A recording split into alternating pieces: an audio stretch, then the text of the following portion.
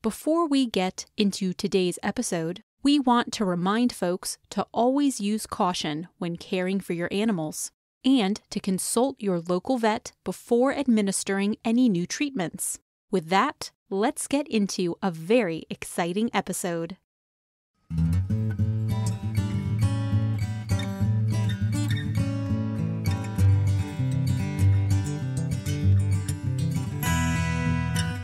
Welcome to the Mother Earth News and Friends podcast. For decades, Dr. Jan Pol has been dedicated to helping animals. His hit show, you may have heard of it, The Incredible Dr. Pol on Nat Geo Wild, shows the daily operations and hard work of his vet practice in Michigan. And we're so excited this expert vet is joining us, not just on this podcast episode, but also at the Mother Earth News Fair this year. So before Dr. Pol joins us at the fair, we're sitting down with him to learn more about who he is and answer some questions from our readers. This is Mother Earth News. Good day, everyone, and we appreciate you for joining us on another exciting Mother Earth News and Friends podcast. I'm Jessica Mitchell, and today we have Dr. Jan Pol on the podcast with us. At Mother Earth News for 50 years and counting, we have been dedicated to conserving our planet's natural resources while helping you conserve your financial resources. Today, we're going to be talking with Dr. Pol about his passion for animals, some of his current projects, and where you can find him at the Mother Earth News Fair this year. Dr. Pol has more than 50 years of veterinary medicine wisdom and knowledge and has spent most of his life making sure animals are healthy, happy, and productive. You can also find him starring in the Nat Geo Wild show, The Incredible Dr. Pol, where viewers follow his veterinary practice in Michigan. So, welcome to the podcast, Dr. Pol. Thank you, Jessica. Good to be here. It's so great to have you on the podcast. We're so excited to be chatting with you today. I thought we could start off with a couple questions so listeners can get to know you. I'm yep. sure a lot of them know you already. yeah, the show is now, to be honest with you, in 180 countries, they say. Wow, that's amazing. I love I that. There were 180 countries. yeah. yeah. So, my first question for you is what made you want to become a veterinarian and work with animals? When I was 12 years old, I was the youngest of six the local veterinarian was a typical large animal, big and strong.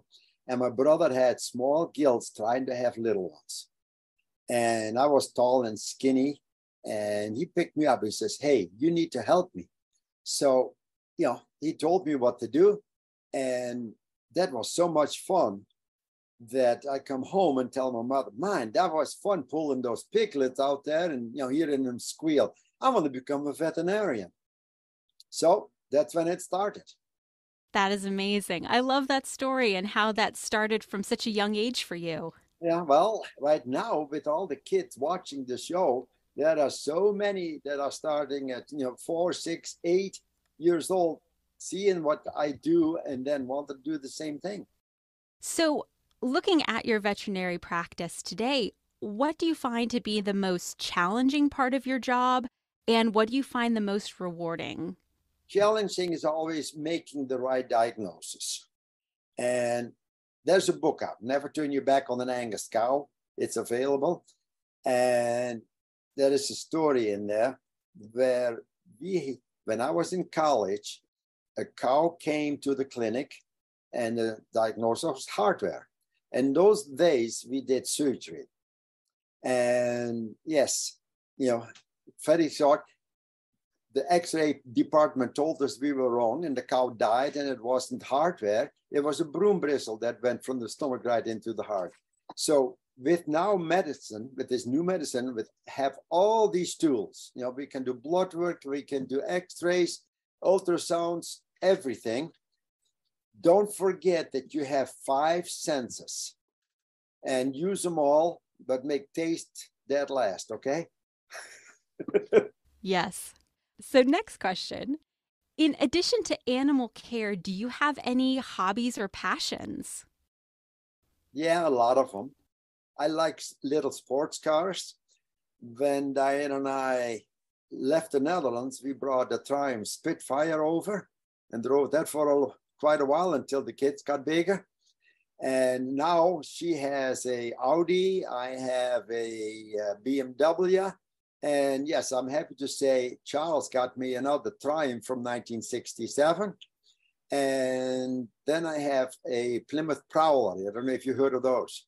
I have not, but it sounds really interesting. Well, check it out online and see what they are. They're only 10,000 made, and I got one of them. That is so cool. yeah.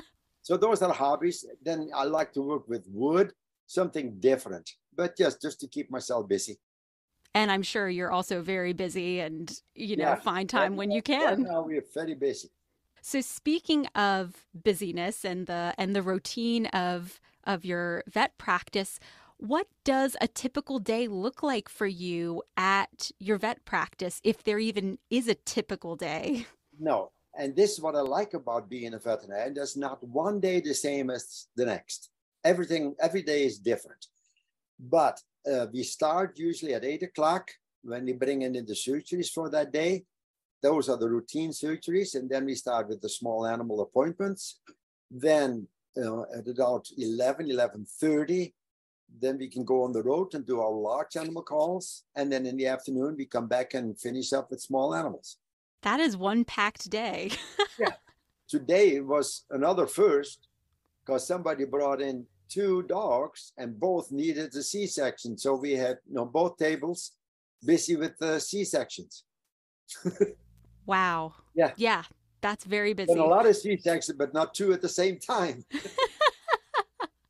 I know that keeps your hands full. yeah. Yes. And the staff too. You know, that's the thing. The staff always has to help us too. Yeah, definitely.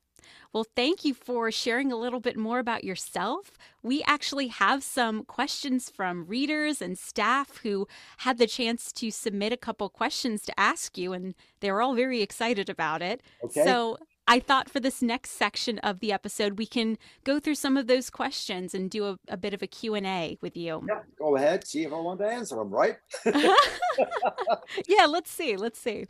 All right. So here's one question that someone asked, and they asked, what is the best change you've seen to veterinary practices since you've started? And what could be the worst change you've seen, in your opinion? The best is that now we have all these tools to help us that still doesn't make us make a diagnosis with machines. You know, you have to do a physical. The worst is where the prices now with all these machines are getting so high that people cannot afford to take their animal to the vet.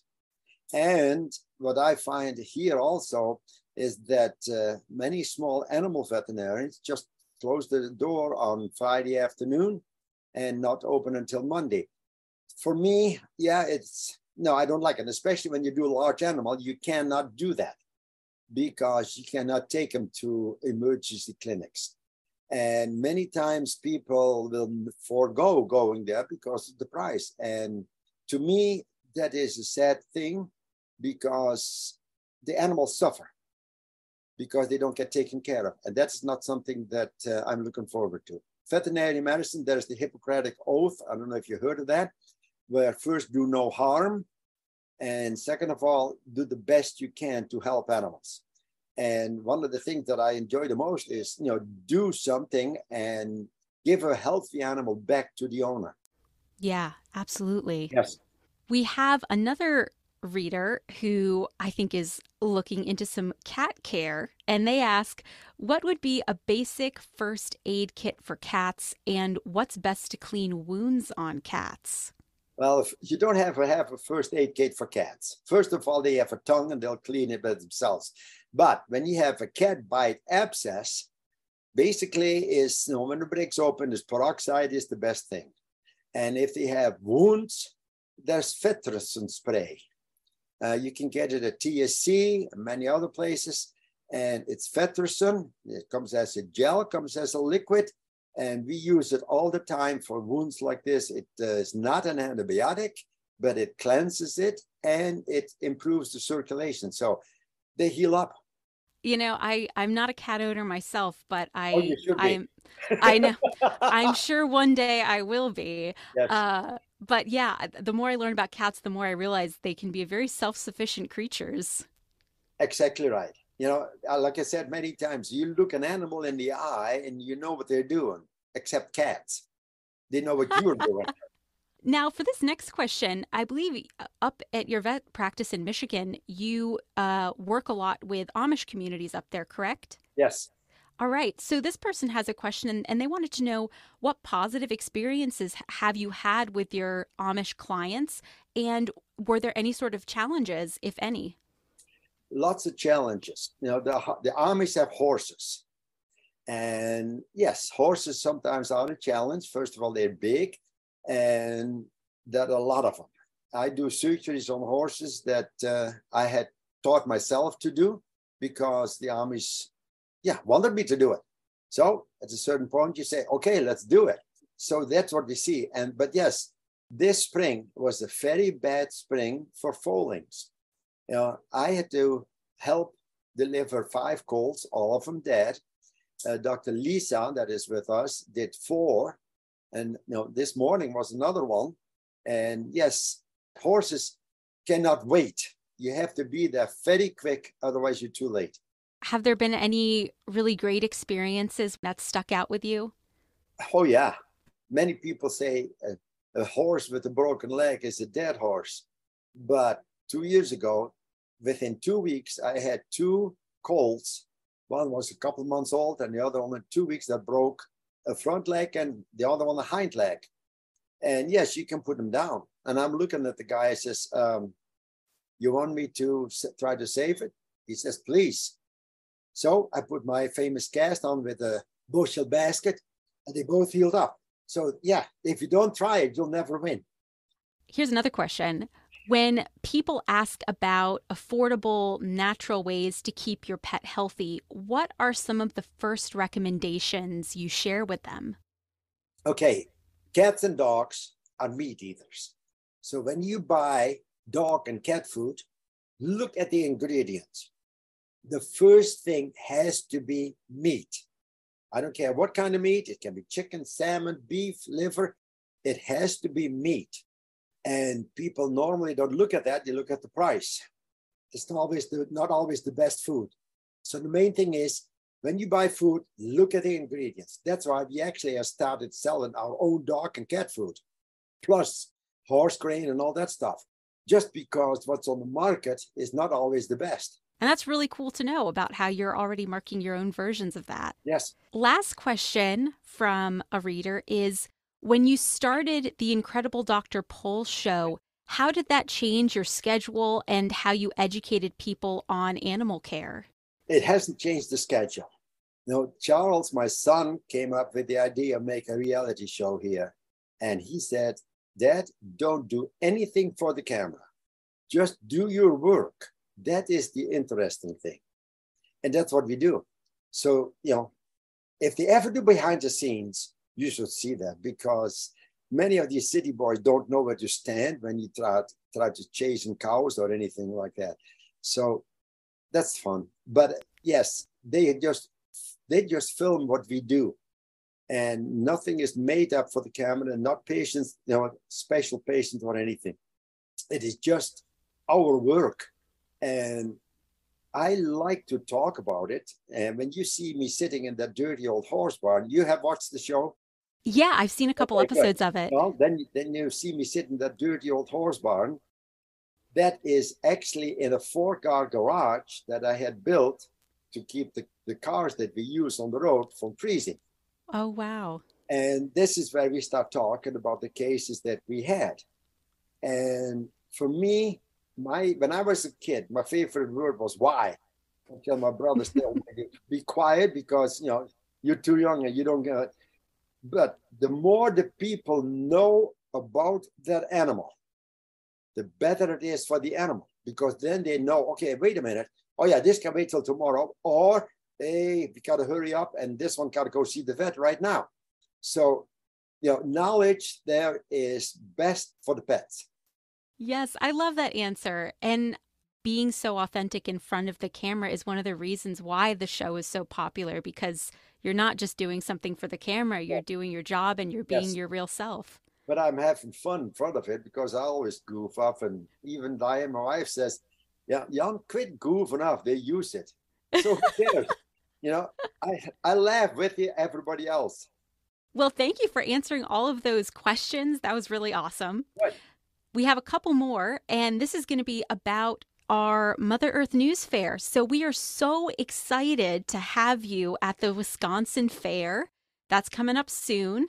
We yeah. know that you'll be giving a presentation for people. You'll be around the fair. There'll be some meet and greet opportunities for our guests. So it's going to be awesome. And I'd love to hear what are you most excited about in in regards to being at the Mother Earth News Fair? I'd like to see what it's all about. Uh, you've been doing this now for 50 years. Yes, keep Mother Earth healthy, you know, and there are different ways of doing it, of course. But that's for me, you know, I want to know about that. You never are too old to learn. And if there's something new, I love to know more about it. So I'll find out exactly what's going on there. And yes, there's lots of people that uh, you meet. I love going to the fair and just I always feel like I can connect with people and just exchange ideas and stuff and it, that's one of my it, favorite parts. Yes, it's uh, the people that go to the fair how should I say that are outgoing people. What are you hoping to share with guests uh, when you're when you're bringing your expertise there? Actually, but you know, like the same thing. You know, if you have questions, I'll try to answer them at the best that I can. It's not that I know everything, but I'll definitely will try to do the best I can about everything. And if, uh, yeah, the more, like I said, the more people know about their animals, the better it is.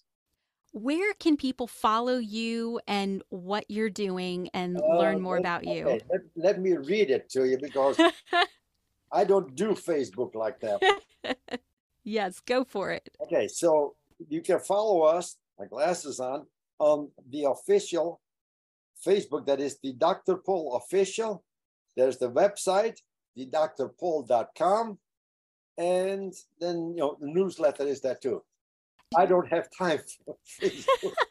yeah, you know, you're pretty busy. So, yes. Well, we'll make sure to link all of that in the show notes and people can check it out.